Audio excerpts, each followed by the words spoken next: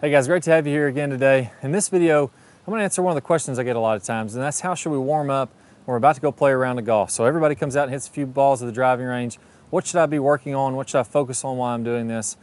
Everybody's gonna be a little bit different depending on what piece of technique maybe you're working on right now, but the overall format is gonna be quite a bit the same. Or if you're going out to play a tournament, I'm gonna show you a great way to take your range game out to the course so that you can sh shoot some better scores. A lot of times we'll hit it great on the range, it'll fall apart on the course and we can't figure out why.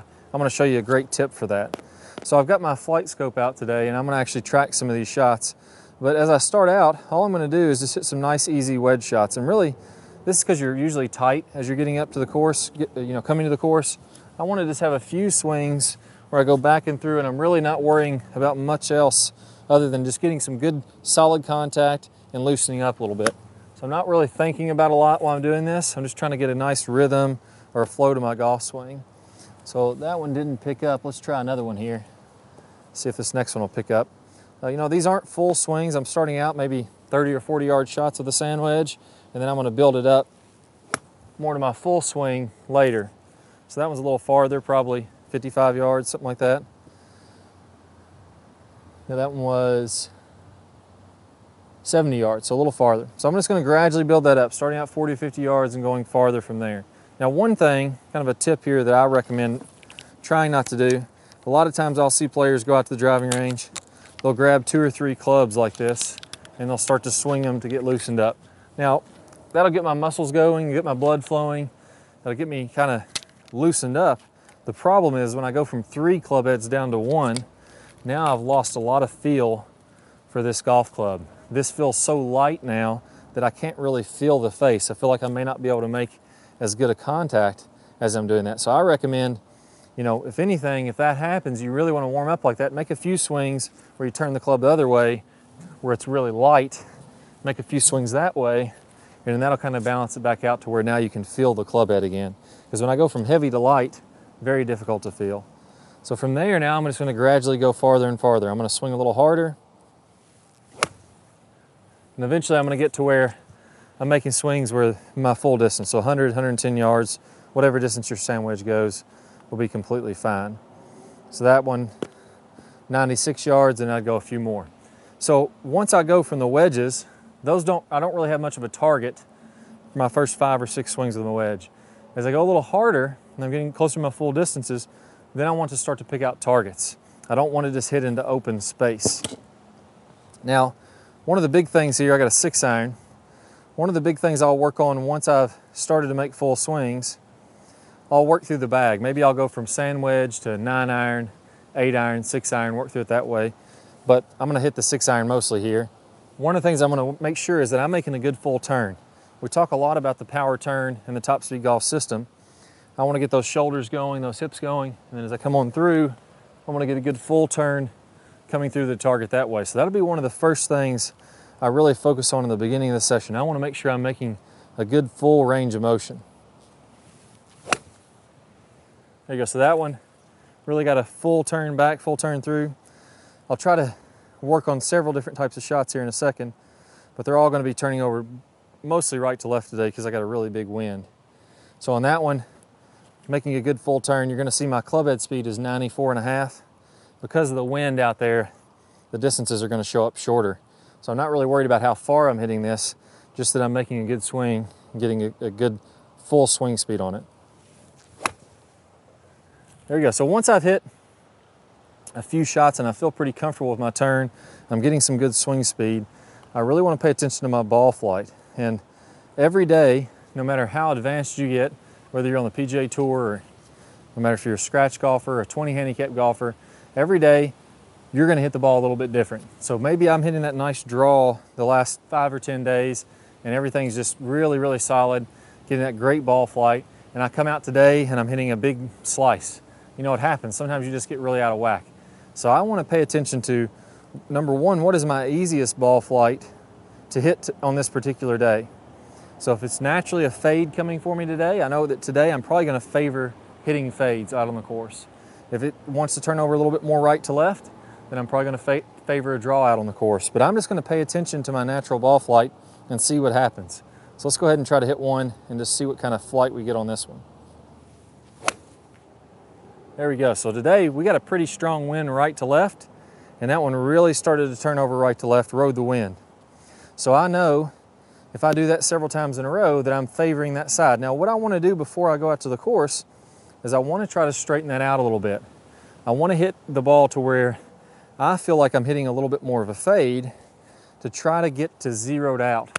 So today I'm favoring a draw, but I'm going to try to hit some that are a little bit of fades and then zeroed out. And in that way, my ball dispersion won't be very bad. So every day is going to be a little bit different, and I may have to feel something a little bit different. On this particular day, I'm going to, especially with the right to left wind on this shot, let's pretend there's no wind, but I'm going to feel like I really hit a bit of a cut until I can get that ball to turn over left to right. It may take me two swings, it may take me 10 swings. But I'm just going to keep on doing that until I can get one or two. So that one there barely started to turn to the right. The wind may have pushed it back slightly left. Got a lot of wind once we get up there. We're blocked by the trees here, but there's tons of wind going this way. So I'm gonna really feel like I keep going a little bit more. So you'll notice on that one, you can see my FlightScope numbers. Club head speed was 96, I got a good turn. My path was 1.9 left, meaning that I was swinging a little bit to the left, and that's exactly what I want to get that ball to turn over to the right. I'm gonna go ahead and do one more because I was hooking too much earlier, I'm really gonna make sure that I can get a couple good fades in there, and then I'm gonna try to straighten it out. So one more good fade, I'm gonna try to swing even more to the left on this one. There we go, so I overdid that one a little bit, and my path is gonna be quite a bit more to the left, I think. All right, so let's see what the path is. Oh, I didn't read it on that one, but you can see it's a pronounced left to right type shot. So that's really key. And I think a lot of golfers skip this. They say, well, when I get better at golf or when my handicap gets lower, then I'll start trying to work shots. We want to be practicing this on a daily basis. So I started out hitting, overdrawing the ball a little bit. Then I got a few fades in there. Now let's try to really straighten this out to get ready for the round. The reason I always want to straighten that out and hit shots that don't curve very much is because whenever I have big curving shots, it's very easy to, to get off track if I have a very inside swing and my path is going way out here and I'm hitting big draws or big hooks, if I have the face a little open, it's gonna go way to the right. Or if I close the face a little too much, it's gonna go way to the left. There's just too much margin, not enough margin for error. It can go all over the place. Same thing with a fade. If I'm hitting 20 and 30 yard slices, it's very easy to pull one or to overcut one. I mean, you just have this big, huge area that you're hitting your, your shots into. If I'm swinging pretty straight, then I'm not going to have very much discrepancy between my left and right shots. And that's because the club path is moving squarely through the ball. So once I've kind of tested out both extremes, now I'm going to go ahead and I'm going to try to hit some pretty straight shots. So let's see how straight I can get this one to go. There we go, that one was really nice. That one didn't hardly move at all. It may turn a little to the left just due to the wind, but that was almost a dead straight ball flight. And we'll see that the it'll read. So my path was 1.3 to the right, so a very, very small amount to the right, and that was a good straight shot. So in the beginning, I got loosened up. Then I worked on my turn, make sure I got my speed. And then from there, I'm working on ball flight. I'm trying to hit both fades and draws and then bring it back into the middle. So I've done that now. As a beginning golfer, you may not be able to do that, or, or an intermediate golfer, you may not be able to get all the way to where you want it to be, but if you keep working on it, it'll come. So once I've done that, now I'm going to take out the driver and I'm going to work on playing a couple crucial holes that are going to be in the round. Let me grab a tee. And what I'm going to do here, and this is one of the reasons that people's games don't always tra travel to the course, I want to be actually in my mind playing one of the, the critical holes that I have coming up. So let's imagine it's number one. I'm going to visualize that in my mind here. Let's say it's a dog leg left, and I'm going to try to play it down the left side of the fairway. I want to do the same thing here and I want to go through my entire pre-shot routine. So I'm standing behind the ball, I'm visualizing the shot that I want to hit, I'm stepping into it, you know, making a couple little swings if that's your, whatever your routine is, and then I'm going to play it right over the left corner to cut the corner.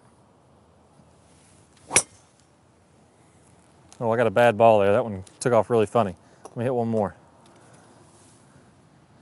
So I go through my routine again. Ball must have been cracked. It acted crazy. But I'm going to visualize exactly what I want to have happen. Step up. I'm playing the shot in my mind like a movie. I'm gonna take it right over the corner. There we go. That one just started just over the left edge and was pretty straight. So start over the left side, started to cut back and almost dead straight. And we'll see that my club head speed is okay, 114. A lot of wind today, so the distances are gonna be pretty short. But I'm able to play that kind of shot. Now imagine I didn't hit a good shot there. I wanna keep on hitting that in my mind over and over again. So I'm stepping back, going through my full routine.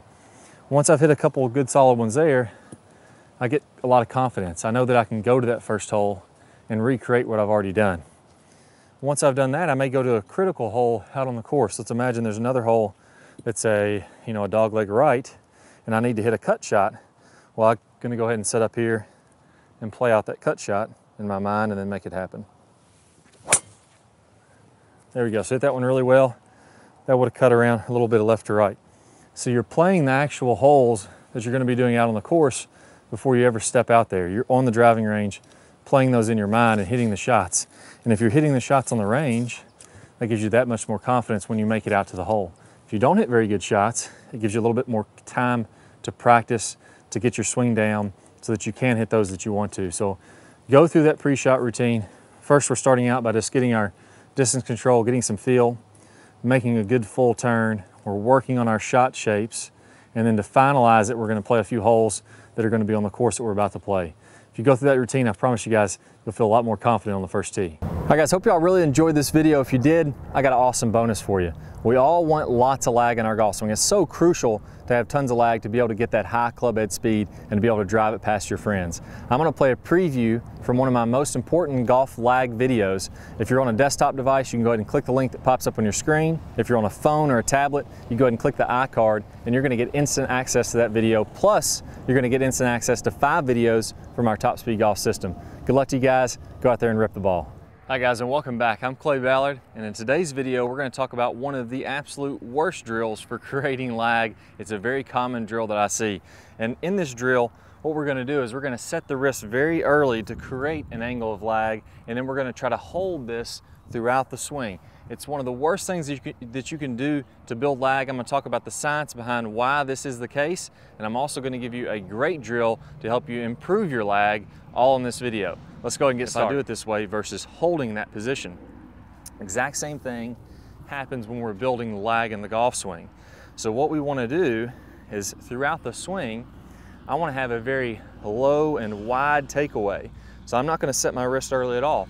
If you look at a lot of the top players, you look at uh, Adam Scott, very wide takeaway, not very much wrist set at all. You look at Rory McIlroy, look at Tiger Woods.